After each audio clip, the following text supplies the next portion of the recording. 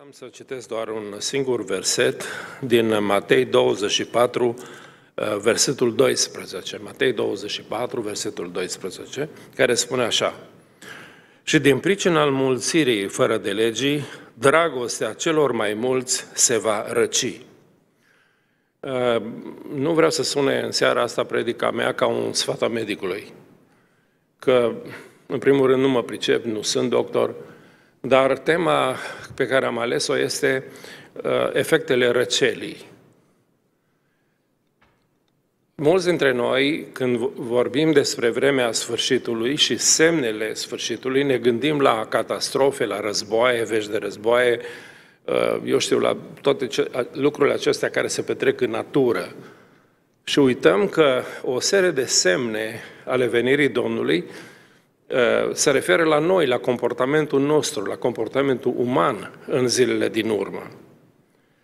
Și spune Sfânta Scriptură că în vremurile din urmă, nu numai că fără de legile, deci păcatele omenirii se vor înmulți, dar din pricina acestei situații, dragostea celor mai mulți se va răci. Acum, noi ne-am mutat în Arizona pentru că ne place căldura, așa -i? Nu ne place frigul. Uh, fugim de răceală. Culmea că și aici se răcește. Foarte multă lume sunt răciți, suntem răciți și vine perioada asta a sărbătorilor în care foarte mulți o să, contract, o să contractăm ba un microb, ba un altul. Uh, să sperăm că am scăpat de COVID, nu? Dar uh, răcelile și gripa se pare că este la ea acasă și mai ales de sărbători. Nu ne place frigul și nu ne place frigul nici măcar în adunare, nu-i așa? Uh, între frați. Am cunoscut pe cineva care s-a mutat din uh, Arizona, s-a mutat înapoi în Chicago și când l-am întrebat de ce s-a mutat, zice, e prea frig în Arizona. Cum frig? Zice, frații sunt foarte reci în Arizona. Probabil că omul a fost obișnuit să aibă prieteni, să aibă o comunitate apropiată și n-a mai găsit-o aici a rezistat cât a rezistat și datorită frigului a plecat înapoi în Chicago. Domnul spune că din pricina păcatelor, a fără de legilor multora, dragostea se va răci și nu la puține lume, ci mulți oameni vor cunoaște această răceală. Deci vom deveni creștini reci, nu? Înghețați, frozen chosen, uh, aleși înghețați. Este expresia asta în engleză despre frozen chosen. Um, v-a fost vreodată frig și ați crezut că o să înghețați?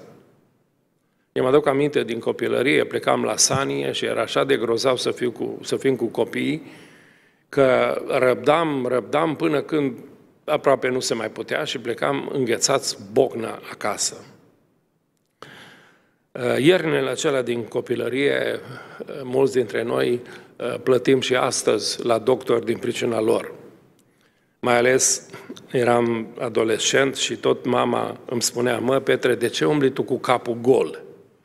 Acum ea nu zicea că n-am nimic în cap, ci zicea că n-am nimic pe cap. Numai că dacă aș fi avut ceva în cap, aș fi luat și ceva pe cap și aș fi scăpat de multe dureri de cap uh, care au urmat pe urmă mai târziu în viață. Da? În tinerețe, în copilărie, nu prea faci mare uh, deosebire. Uh,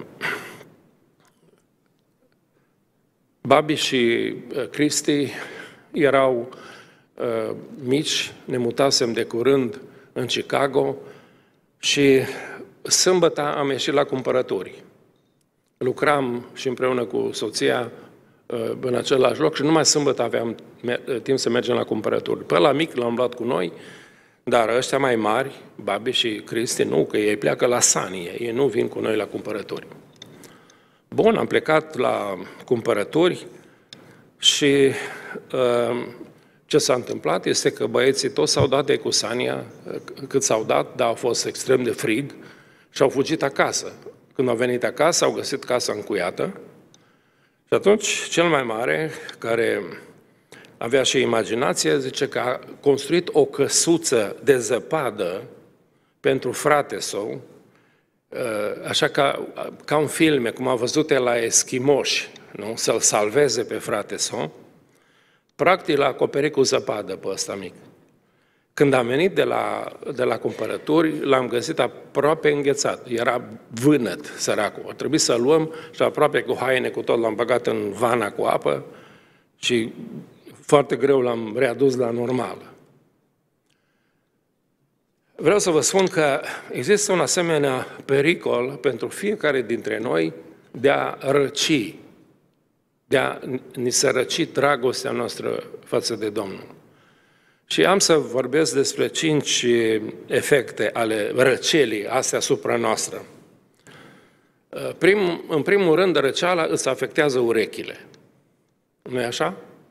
Primul lucru la care ți-e fric la urechi. Acum, în copilărie, toți aveam căciul de alea cu urechi. Dacă țineți minte de, de blană și le, ne legam peste urechi. Când e frig, instinctiv ne acoperim urechile. Primele care îngheață, de fapt, sau degeră la frig sunt urechile. Vă aduceți aminte ce au făcut farisei când l-au auzit pe Ștefan predicând? Cred că le-a fost un frig groaznic și au acoperit urechile. Nu am vrut să audă deloc uh, predica fapte 7 cu, 20, cu, cu 57. Pentru că atunci cât, când îți se răcește dragostea pentru Domnul, nu mai vrei să auzi cuvântul lui Dumnezeu. Nu mai vrei să-L auzi vorbind. Te deranjează. Îți astup urechile la mesajul pocăinței. Nu mai primești mustrarea. Um, să știți că una dintre, unul dintre cuvintele care se repete enorm de mult în profeți, la Domnul Isus, în uh, cuvintele Domnului Isus, sau nu mai spun în Apocalipsă, uh, sunt acestea. Cine are urechi de auzit să audă. Cine are urechi de auzit să audă.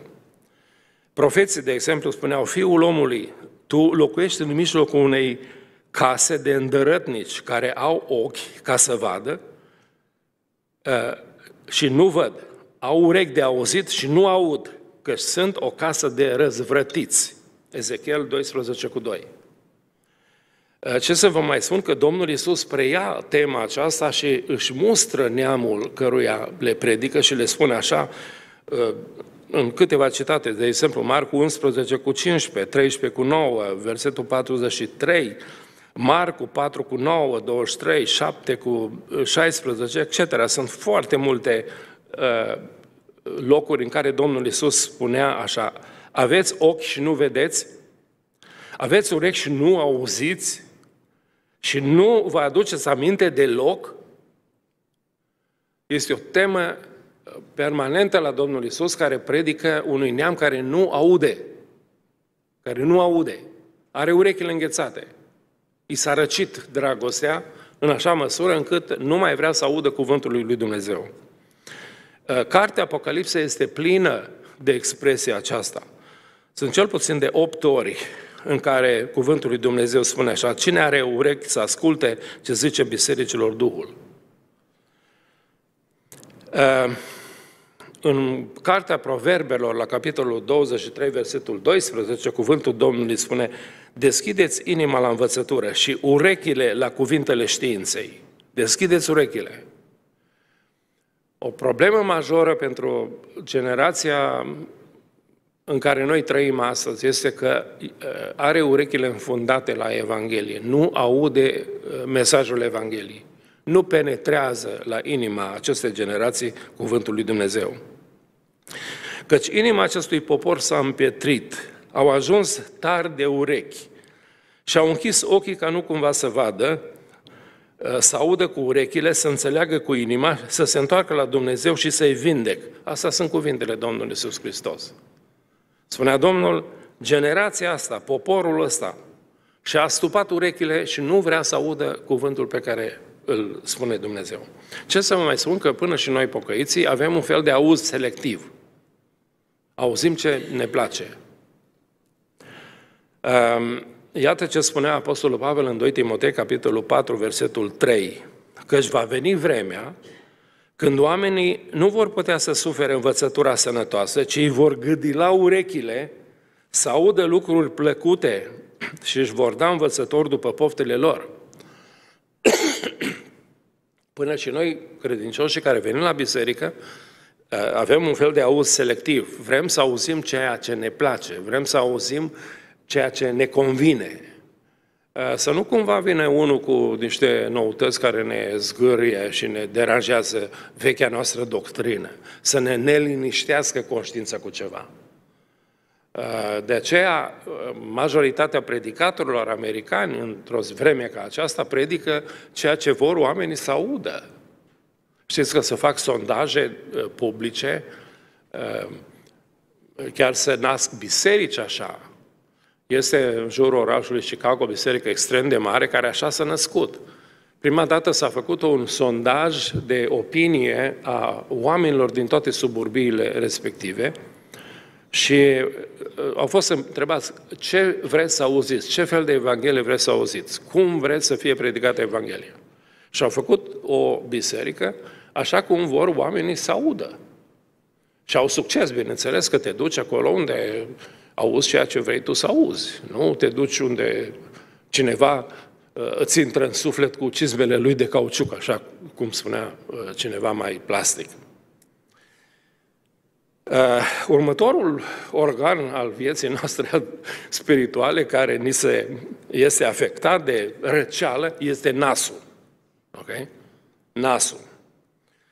Uh, iarna arătăm ca Rudolf, toți, nu e așa? Nasul roșu. Devenim înfundați, nu mai mirosim nimic. Uh, COVID-ul ăsta se pare că a avut o asemenea dar să, să ne ia mirosul și gustul. Acum, la gust, cred că a fost o treabă bună, că am mâncat mai puțin, nu? Am mai slăbit, dar cu mirosul a fost o problemă serioasă. Ne-am pierdut mirosul. Ehm, te trezești că nu mai ehm, miroși deloc focul trezirii spirituale, focul chemării lui Dumnezeu la altar. Nu te mai atrage deloc mirosul hranei spirituale. Nu mai știi, e bună sau nu e bună, e comestibilă sau nu e comestibilă. Nu mai faci nicio deosebire. Nu mai simți mireasma cunoștinței lui Hristos, cum spune Apostolul Pavel la 2 Corinteni, 2 uh, cu 14.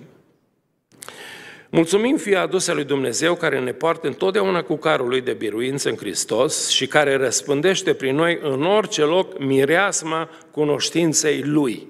Când Dumnezeu răspândește mireasma cunoștinței Lui, dacă nasul tău e înfundat, nu? Uh, răcit, nu mai uh, miroși această mireasmă, nu mai primești mireasma cunoștinței Lui Hristos. Știți că jerfele din Vechiul Testament, de exemplu, întotdeauna erau însoțite de un miros plăcut Domnului.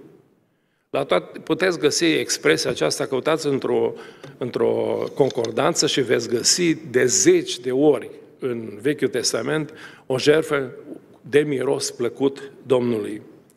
Prima jertfă de după potop, de exemplu Genesa 8 cu 21, spune Sfânta Scriptură, că a fost de un miros plăcut lui Dumnezeu. Dar trebuie să ai un nas sănătos ca să miroși o asemenea jertfă care e plăcută lui Dumnezeu. Uh, știți că Apostolul Pavel în, în Efeseni 5 cu 2 spune că dărnicia noastră, dărnicia creștină, este un prinos și o jerfă de bun miros înaintea lui Dumnezeu? Ei, dacă nu ai nasul sănătos, nu mai miroși deloc uh, această jerfă de bun miros înaintea lui Dumnezeu. Necazul cel mai mare este că atunci când avem nasul bolnav, ne băgăm nasul în treburile altora. Așa cum spune românul, unde nu ne fierbe oala. Unde nu ne fierbe oala. Țin minte că mama avea o, o tehnică de a ei, de a ne vindeca atunci când aveam nasul înfundat. Ferbea o oală mare pe foc cu ceva ceaiuri, mai ales ceai de tei pe care îl adunam toți în timpul verii și ne punea un prosop peste cap și stăteam cu nasul peste oala aceea, peste abure aceea care veneau. De cele mai multe ori ne vindecam după treaba asta și aveam uh, nasul liber. Ei, atunci când nasul tău e bolnav, ți-l bagi în treburile altora, nu ala altoia. Uh, Apostolul Petru spune la 1 Petru, capitolul 4, versetul 15, nimeni din voi să nu sufere ca ucigaș sau ca hoț, sau ca făcător de rele, sau ca unul care se amestecă în treburile altora, care un, ca unul care își bagă nasul în oala altora. Ei, când ai nasul bolnav, ca să scapi de boală, probabil să-l bagi în oala altuia. Um, vă spun că o, un singur subiect din asta ar putea să fie o predică întreagă, pentru că Biblia este extrem de bogată, extrem de explicită și, și are atât multe informații variate pe tema aceasta a nasului nostru, a mirosului nostru pentru cele spirituale. Nu se mai miroase a trezire spirituală, nu se mai miroase a rugăciune. Uh, încă țin minte, erau, uh, erau case în care se ținea rugăciune în România. Nu știu dacă dumneavoastră mai țineți minte vremurile acelea. Dar casele acelea unde se ținea rugăciunea aveau un miros special. Era un mirosul lacrimilor. Mergeam cu, eram student și mergeam la o familie în Timișoara și ne-am adus aminte de familia Măcelaru zilele astea, pentru că unul dintre copiii lor este dirijorul Orchestrei Sinfonice a Franței. Okay? Uh, încă nu mi-aduc aminte de el. Cred că era un puștan așa, mititel, pe acolo, prin casă, când mergeam la el la rugăciune. Dar când mergeam la Mărioara Măcelaru la rugăciune, ă, camera de unde plecam era udă pe jos. Atâtea lacrimi se vărsau acolo. E bine, când ai un nas sănătos, miroși acest... Te, te cheamă mirosul ăsta al rugăciunii. Dar când ești bolnav, nu mai simți nimic. A treia uh, răceală, uh, în al treilea rând, răceala îți afectează picioarele. Bunica spunea întotdeauna, dacă te răcești la picioare, ești răcit de tot, tot, tot corpul tău. Dar ai grijă de picioare. Tot timpul spunea, ai grijă de picioare. Dacă răcești la picioare, ești bolnav complet. Degerăturile la degete, la picioare, erau foarte frecvente în timpul acela. Veneam de la sanii înghețați complet. Poate de aceea, atunci când uh, te afectează răceala la picioare, nu mai alergi niciodată cu vestea bună. Nu mai poți fugi cu vestea cea bună. Iată ce spunea Pavel în Efeseni 2 cu 17. Și noi vă aducem vestea aceasta bună ca făgăduința, făcut, că făgăduința făcută părinților noștri Asta e fapte 13 cu 32. Vestea bună ca făgăduința făcută părinților noștri. Asta este vestea cea bună cu care alergăm. În Efeseni, Pavel spune așa, și el a venit astfel să aducă vestea bună a păcii, vouă, celor ce erați departe și pace celor ce erau aproape. Efeseni 2 cu 17.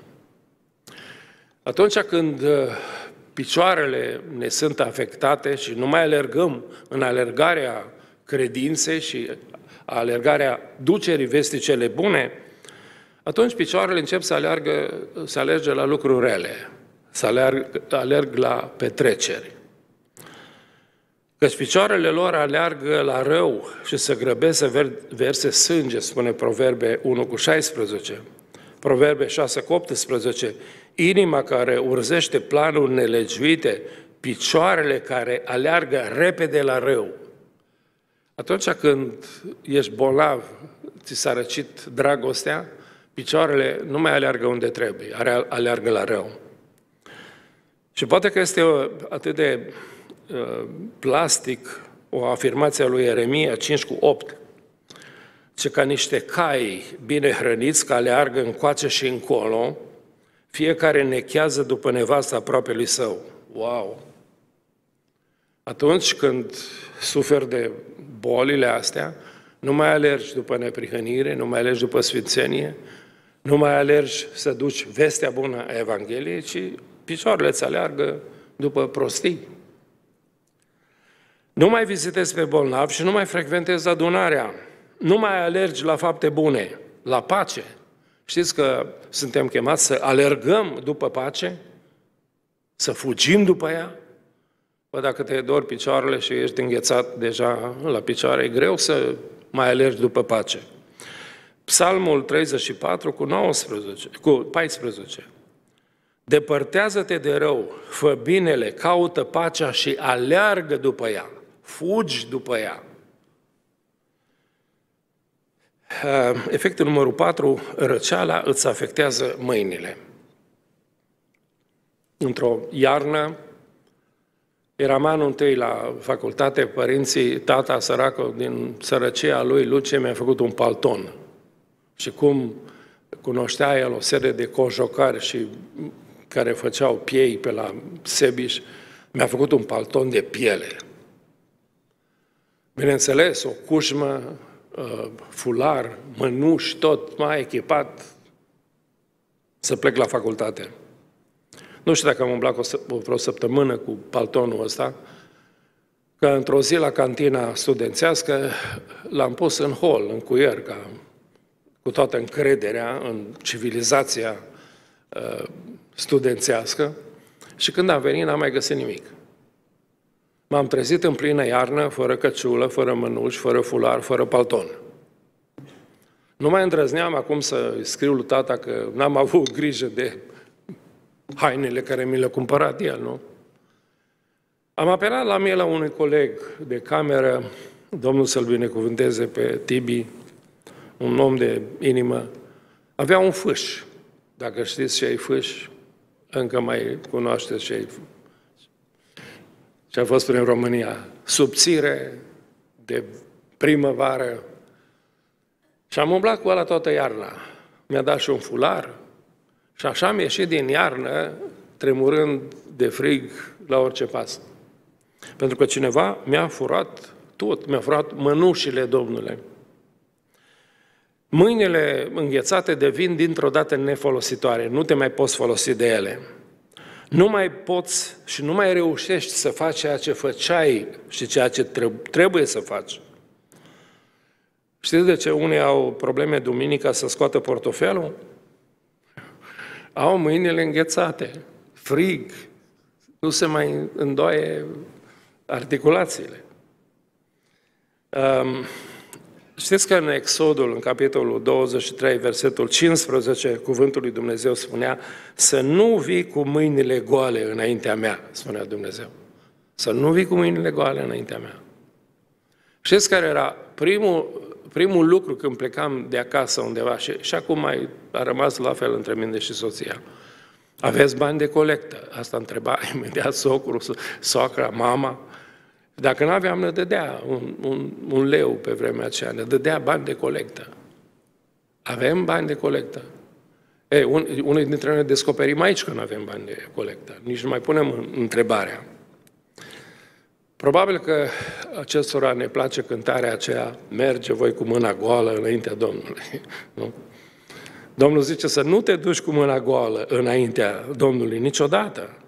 Să nu te duci înaintea lui Dumnezeu cu mâna goală. Ehm, știți că nu putem lucra cu mâinile înghețate? Lucrarea la care suntem chemați, facerea de bine, de exemplu, ajutorul altora. Vin sărbătorile, ne pasă sau nu ne pasă de ceilalți care poate nu au ceea ce ar trebui și ar avea nevoie să aibă. Ehm, Apostolul Pavel scrie la 1 Tesaloniceni 4 cu 11, un sfat pe care îl dă unei biserici care credea că vine Domnul. Unii și credeau că a venit deja Domnul, dar cei mai mulți credeau că e, e iminentă venirea Domnului, de aceea n-are rost să mai duci la servici, nu? să mergi la lucru. Și nu lucrau, frate, că vine Domnul. Părinții mei au găzduit pe cineva, așa de milă o familie, au zis că stau numai câteva luni, pe urmă au stat numai câțiva ani și venea toamna și mama îi spunea la sora, soră, du-te în grădină, ia tot ce trebuie, puneți peste iarnă. A, nu, sora, zice, vine Domnul, nu trebuie. A, nu venea Domnul iar la aia, dar venea sora la mama și zice, soră, n-aveți un borcan de gogonele, de ceva ardei? Mama avea, că ea nu înghețaseră mâinile. Ei, spune Apostolul Pavel, să căutați să trăiți liniștiți, să vă vedeți de treburi și să lucrați cu mâinile voastre, cum v-am sfătuit. 1 Tesaloniceni 4 cu 11. E adevărat că vine Domnul. Dar dacă vine Domnul mâine, astăzi spunem un pom, așa cum a zis Luther, mi se pare. Să dim un pom. Vrem să ne găsească lucrând, nu dormind. Știți că atunci când ni se răcește mâna, nu, o, mână, o mână rece de frate, mâna aceea nu mai poți să strângi în dragostea frățească, nu?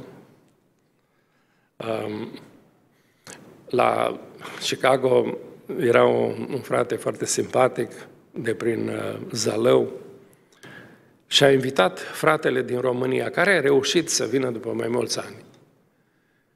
Uh, ăsta din România, om care a lucrat puternic la pădure, un urs, nu altceva, ăsta de America, așa, știți, sofa, televizor. La aeroport, așa l-a strâns în brațe frate său din România, că l-a băgat în spital cu cinci coaste rupte. Cinci coaste rupte l-a băgat în spital. Din dragoste, nu? L-a strâns în brațe și a rupt coastele din dragoste. E bine, când ai o mână ă, deja afectată de, de răceală, nu mai poți să strângi mâna aceea. Ă, s-a, s-a răcit părtășia, s-a răcit dragostea frățească. Nu mai poți întinde mâna ajutând pe alții când ea este bolnavă, nu? În Efeseni 4 cu 28, Apostolul Pavel spune, cine fura să nu mai fure, ci mai degrabă să lucreze cu mâinile lui la ceva bun, ca să aibă ce să dea celui lipsit.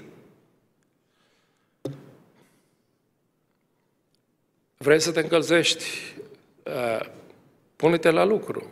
Bunicul avea o teorie care nu-mi plăcea absolut deloc. Zice, mă băiete, cu lemnele trebuie să ne încălzim de două ori. Cum așa de două ori? Păi zice, odată ne încălzim că le punem pe foc și odată ne încălzim că le tăiem. Ia, de, ia du-te tu și taie ceva lemne. Necazul este că bunicul ăsta avea gânduri mari să mă încălzească, nu le tăia cu ferăstrău înainte. Trebuia să le taie eu cu securea, toate. Era un sport teribil, eram foarte încălzit după uh, chestia aia. Dar atunci când mâinile îți sunt afectate, nu te mai încălzești lucrând, probabil te încălzești ca Petru la focul trădării altora, te duci să te încălzești la focul ăla, ăla străin, nu? Să încălzești mâinile. Și ultimul lucru care am să vă las să aplicați rețeta asta, este că răceala te face să devii somnoros. Uh, știți că înainte de a muri prin înghețare, te apucă un somn teribil, un somn total. Uh, cei care au lăsat memorii scrise, care au călătorit spre Polul Nord și au murit în călătoriile acelea, au scris în jurnalele lor că le-a fost așa de frig și că le-a venit să doarmă. Le-a, le venit un somn formidabil peste ei și au adormit somnul cel de veci. Ai, ai adormit somnul cel de veci.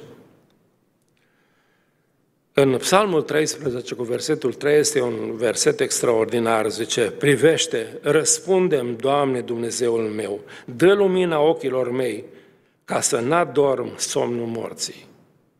Dă lumină ochilor mei ca să n-adorm somnul morții. Nu mă lăsa în, acest, în, această, uh, în acest secol al frigului, al răcelii totale, când răcește dragostea tuturora. Nu mă lăsa să adorm somnul morții.